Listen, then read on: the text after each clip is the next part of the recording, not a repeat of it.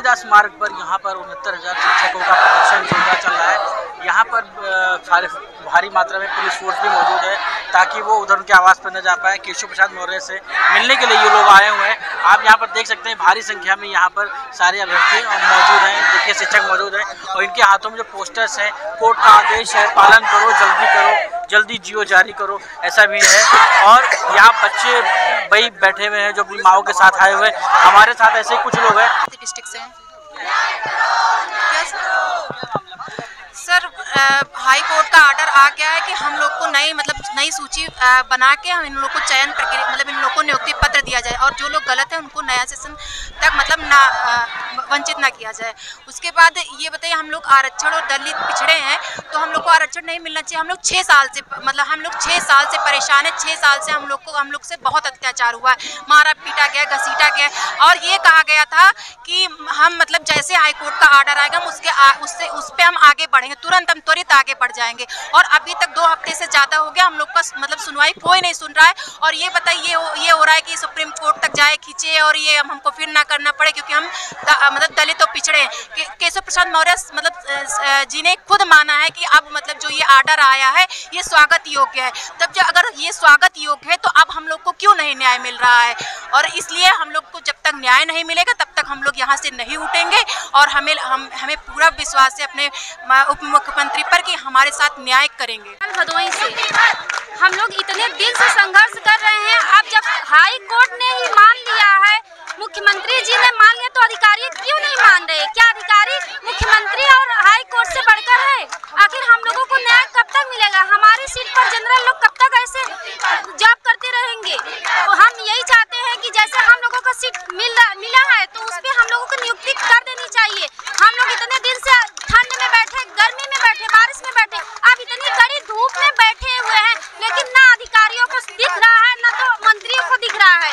हम यहाँ पे केशव प्रसाद मौर्य जी से यही न्याय, अपनी न्याय की गुहार लगाने आए हैं कि हम लोगों को नियुक्ति दे दिया जाए। कितने दिन तक हम लोग संघर्ष करते रहेंगे। हम लोगों की हिस्से की रोटी कोई और सेक रहा है कब तक हम लोग इतने दिन से संघर्ष करें वो नहीं दिखाई दे रहा है किसी को कब तक हम लोग ऐसे अन्याय सहते रहेंगे देर से दिया हुआ न्याय अन्याय भी न्याय के बराबर होता है। दो मंथ के, तीन मंथ के अंदर हाई कोर्ट ने बोला है, नियुक्ति पत्र लोगों को दे देनी चाहिए। नई लिस्ट हम यही चाहते हैं मूल चयन सूची फिर से जारी किया जाए। अमर उजाला से कुलदीप सिंह।